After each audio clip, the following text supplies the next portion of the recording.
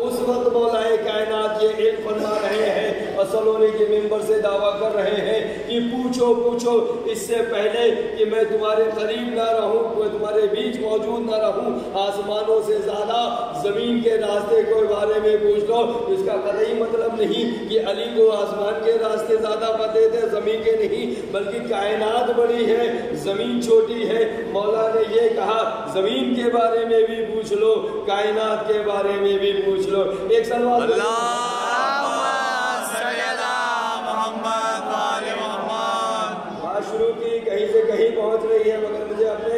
ایمان پہ رہنا ان دین اللہ الاسلام اللہ کی نظر میں دین اسلام، اب یاد رکھیے دین اللہ کا ہے، وہ حضرت آدم سے شروع ہوا اور جناب نوح تک پہنچا، جناب نوح سے، جناب ابراہیم تک پہنچا، جناب ابراہیم سے، جناب موسیٰ عیسیٰ سے ہوتا ہوا ختم الانبیاء تک پہنچا۔ میں بہت زیادہ لمبی تقریر کرنا نہیں چاہتا، مگر اس تھوڑے سے وقت میں ایک جامع بیان ہو جائے، مکمل بیان ہو جائے، آپ تک پہنچ جائے۔ بس اسی کی میں کوشش کرتا ہوں، اس سلونی کے ممبر سے میں نے جو ذکر کیا کہ ختم الانبیاء تک پہنچا اب جب ختم الانبیاء تک پہنچا، اللہ کا حکم ہوا کہ اے نبی، اعلان کر دو کہ آج دین مکمل ہو گیا تو قدیر خم کے میدان میں مولا کائنات کو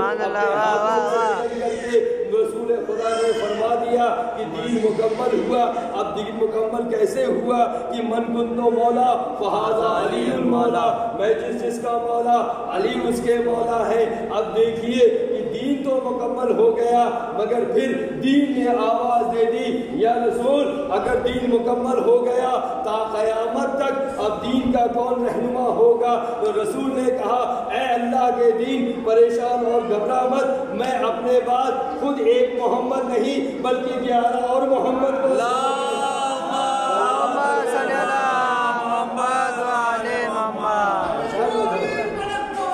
علی مولا علی مولا۔ علی مولا علی مولا۔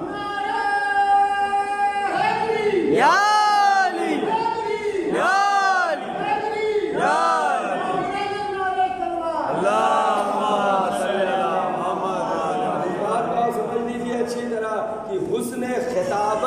اس ممبر کی دین ہوتی ہے، ورنہ ہم جیسے طالب علم کے پاس اتنا علم کہا یہ تو ممبر پہ آیا اور زبان سے جملے اپنے آپ نکلنے لگتے ہیں۔ یہ کلمات جو میں اس ممبر سے پڑھا، یہ وہاں سے عطا ہو رہے ہیں۔ تو میں نے ذکر کیا کہ ایک نہیں، بلکہ گیارہ اور محمد کو بھیجا جائے گا۔ تو رسول نے ارشاد فرمایا کہ میں اپنے بعد اس کو بھیجوں گا، اس کو اپنا نائب بناؤں گا، جس کو ہاتھوں پہ بلند کر کے کہا، من کنتو مولا، فہذا علیون مولا.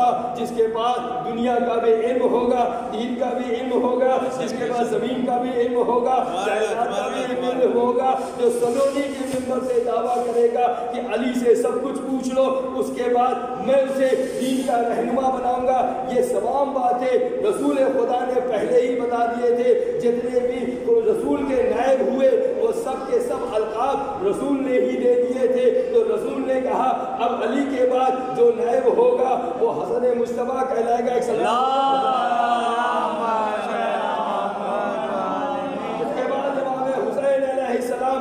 یہ حسنین کون ہے؟ یہ جوانان جنت، یہ دین کے رہنما ہوں گے۔ میں دین ان کے سپرد کر کے جاؤں گا۔ اور جب امام حسین علیہ السلام نہیں رہیں گے، تو میں ایک ایسے عابد اور ساجد کے حوالے دین کر دوں گا، جسے سید الساجدین بھی کہا جائے گا اور زین العابدین بھی کہا جائے گا۔